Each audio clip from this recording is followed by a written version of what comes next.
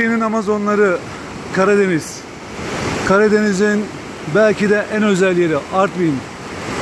Artvin'in birbirinden güzel, birbirinden özel şelalelerinden biri Maral.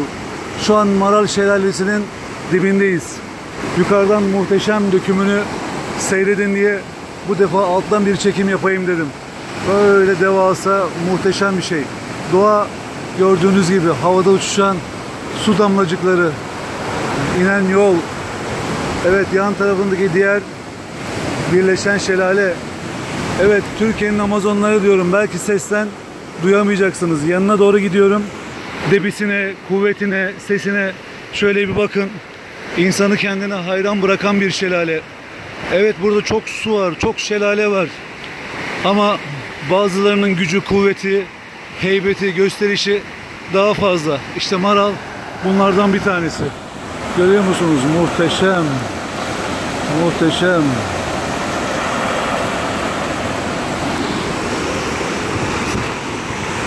Aldığınız nefesin bile tadı farklı. Yüzünüze vuran su damlalarının tadı farklı. İnanılmaz bir şey.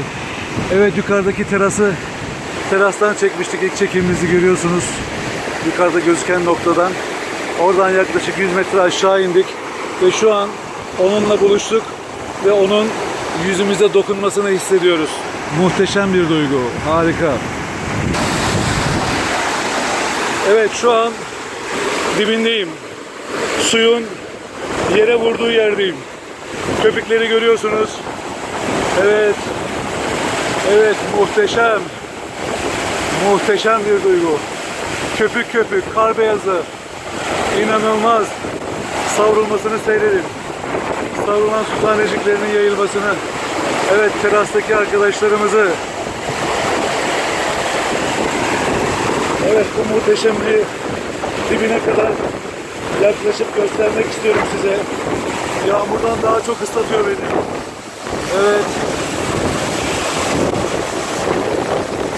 Böyle muhteşem bir şey.